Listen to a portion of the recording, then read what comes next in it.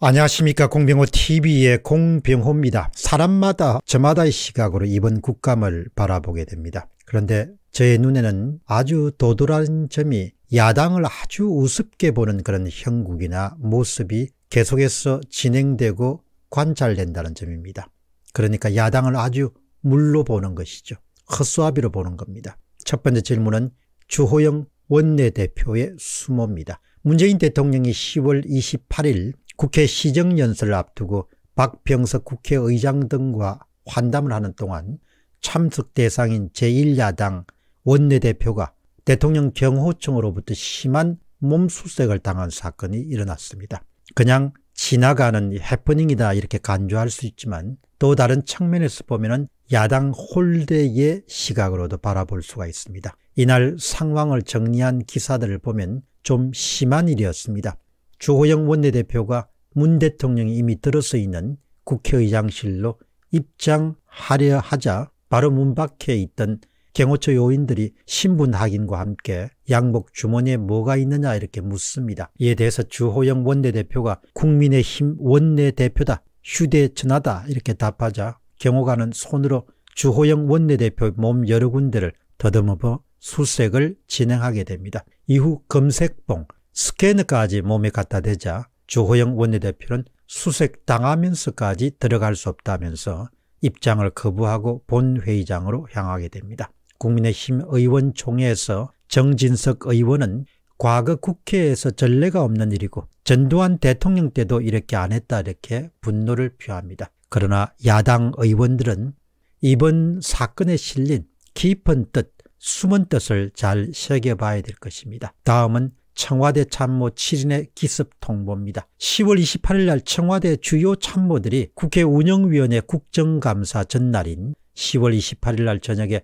무더기로 국감에 못 나가겠다 일방 통보한 것으로 확인됐습니다. 불출석 의사를 급히 통보한 인물들은 서훈 국가안보실장, 김종호 민정수석, 유현상 대통령 경호처장, 이성열 국가위기관리센터장, 노규덕 평화기획 비서관, 박철민 외교정책 비서관 등 모두 7명입니다. 그런데 우리가 여기서 눈여겨봐야 될 것은 국회는 야당만 있는 것이 아니고 여당도 있습니다. 그리고 국회의원이 부른다는 것은 국회의원 개인이 부르는 것으로 해석할 수 있지만 바로 그 뒤에 국민이 부르는 것이다 이렇게 이야기합니다. 따라서 아주 긴요한 사안이 아닌 경우는 청와대 참모들이 국회에 출석해서 국민들에게 자신의 업무와 관련된 사항, 궁금한 점을 보고한다 이렇게 생각을 해야 되는 것이죠. 국회 운영위원회에 따르면 김정호 민정수석은 이날 오후에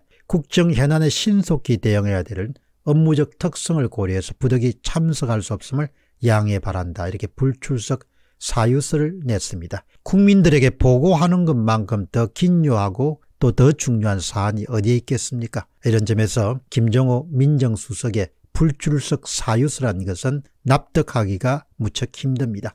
야당은 국회 운영위원회 국정감사에서 옵티머스 사태 연루된 청와대 민정수석실을 집중적으로 추구할 계획을 갖고 있었습니다. 한마디로 닭을 쫓던 개가 되어버리는 그런 상황이 일어나게 된 겁니다. 국회 운영위원회 야당 간사인 김성은 의원은 이렇게 주장합니다. 지금껏 가타부타 출석에 대해서 아무런 말이 없다가 국감 전날 저녁에 갑자기 못 오게 또 한 것은 납득하기 어렵다.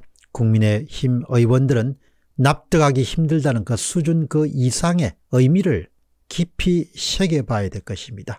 다음 질문 우리가 알아야 할 일입니다. 국민을 대표하는 기관이 국회입니다. 야당을 대하는 태도는 곧바로 자신들에게 표를 던지지 않은 국민들을 대하는 태도로 확대 해석에도 무리가 아닐 것입니다. 재인 산성을 축조해도 조용하고 정치 방역으로 국민을 옥죄더라도 조용하고 대부분을 접수하고 선관위를 접수하고 헌재를 접수하고 검찰을 무력화하고 세금 뭘 엄청나게 때리더라도 다 조용합니다. 절정, 이른바 클라이맥스는 국민표를 대거 훔쳐서 선거를 조작하더라도 야당이라는 곳이 조용하니 함부로 대접할 생각을 하지 않을 수 있을까요? 선거를 조작하더라도 야당이 오히려 여당을 두둔하는 입장이 돼버렸으니까 그런 야당을 어떻게 대접하겠습니까?